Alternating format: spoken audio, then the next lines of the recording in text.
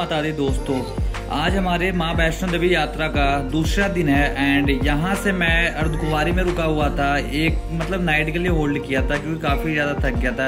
And आज का दिन यहीं से शुरू करते हैं, और चलते हैं रास्ते में, सफ़र में, जैसा भी होगा, मैं आपको बताते चलूँगा। तो ठीक है जी, आप लोग वीडियोस को एंजॉय करना एंड चैनल पे नया हो तो चैनल को सब्सक्राइब कर ले एंड वीडियोस को लाइक कर दे।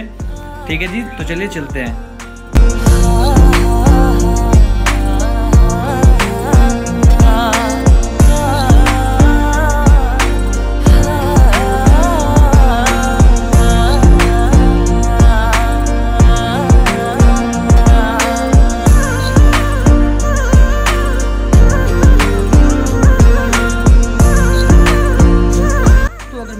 अर्धकुंवारी की बात करूँ तो आपको वहाँ पे हर तरह की सुविधाएँ वहाँ पे उपलब्ध है। आपको किसी भी प्रकार का कोई दिक्कत नहीं होगा।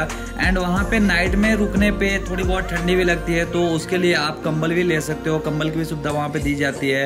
एंड वहाँ पे बाथरूम की भी सुविधा अच्छे से है और स्नान करने की सुविधा है। मतलब सारी सुविधाएँ वहाँ वहाँ पे उपलब्ध है।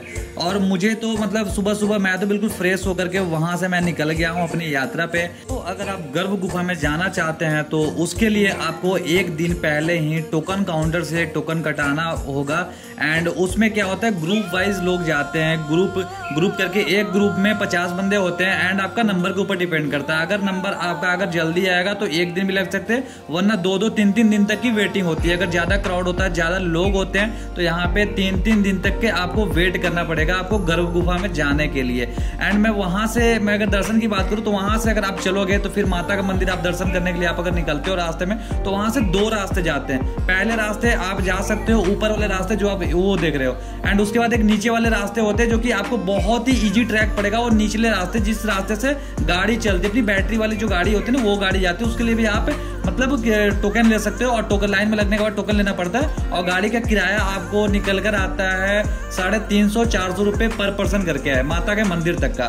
तो आपको अर्थ कुमारी से सिर्फ़ दो रास्ते से ही मतलब दो रास्ते होते हैं। एक ऊपर की ओर से आप जा सकते हो, जो कि बहुत ही हार्ड ट्रैकिंग है एंड एक नीचे से जो गाड़ी वाले रास्ते हैं, आप उससे जा सकते हो, बिल्कुल ही ईजी ट्रैक है। तो ये जो दिख रहा है, ये माता का भवन है सो आप लोग यहीं से थोड़ा बहुत दर्शन कर लो। आप लोग को मैं घर बैठे बैठे दर्शन करा दे रहा हूँ। एंड अगर आप भी आना चाहते हो तो आओ और माता के दर्शन करो। तो वीडियो जैसा भी लगा वीडियो को लाइक कर देना। अगर चैनल पर नया हो तो चैनल को सब्सक्राइब कर देना।